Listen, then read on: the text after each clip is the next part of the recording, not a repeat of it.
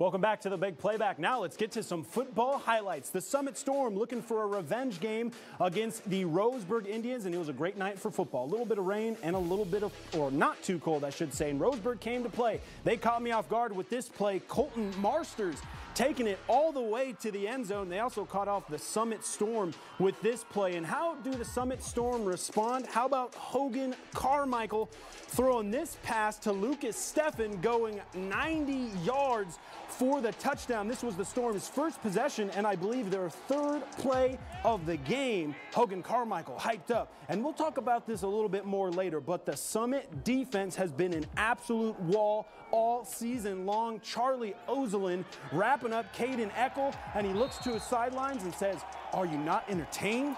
Are you not entertained? All right, Hogan Carmichael now dropping back, looking for his receiver. It's deflected and intercepted by none other than Marsters, who also plays on the defensive side of the ball.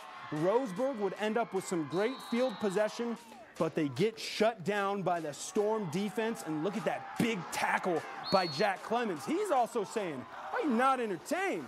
Carmichael, this time rolling to his left, finding Tag Brown for the score. Summit Storm get the revenge, and they move on to the quarterfinals, taking down the Roseburg Indians 37 to 19.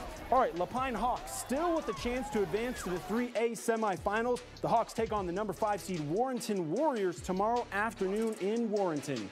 All right, now it's time for some top plays. Let me take a deep breath. My favorite part of the show, but up first, we have last week's winners. It's Chip Ayler's sack against South Medford in last week's first round of the playoffs. Congratulations, Chip. You're our Week 10 winner. All right, now to this week. Let's head over to that chalkboard for some top plays of the week. Up first, it's Nani DePiro doing all the work himself on the counterattack. How about some soccer love for the Summit Boys soccer team? One versus three, and Nani scores when he wants. I said it earlier, slotting it home. Summit Boys soccer team are dominant. All right, number two, it's Lucas Steffen from tonight's game, finding some open space and catching this pass from Hogan Carmichael and going 90 yards for the touchdown. And might I add, untouched. Kids got some speed, make it into the end zone. Hogan Carmichael loving it, finding the open man. All right, number three, for some defense love. We just saw this play. Jack Clemens getting into the backfield and blowing this Roseburg play up. Summit Storm shutting down the Roseburg offense. All right, Central Oregon, it's in your hands. Who is your winner? You can vote now at ktvz.com.